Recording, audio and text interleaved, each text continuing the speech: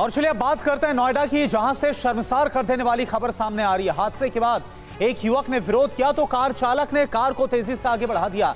युवक कार के बोनट पर चढ़ गया। चालक ने इसके बाद भी कार को रोका नहीं और युवक को बोनट पर बैठाकर काफ़ी दूर तक ले गया। पूरी खबर आप देखिए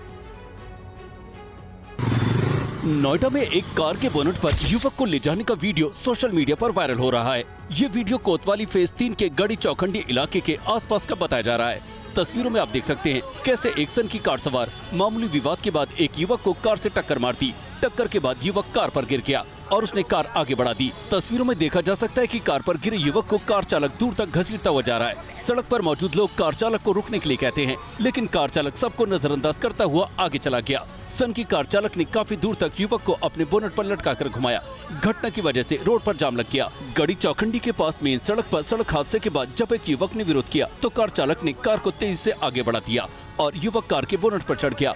कार चालक ने इसके बाद भी कार नहीं रोकी और युवक को बोनट पर बैठाकर काफ़ी दूर तक ले गया। कोतवाली फ़ेज़ तीन के प्रभारी निरीक्षक विजय कुमार का कहना है कि सोशल मीडिया के माध्यम से हम लोगों को वीडियो मिला है और कार और चालक की पहचान की जा रही है। पुलिस की टीम लगी हुई है और जल्द ही आरोपी को गिरफ़्तार किया जाएगा।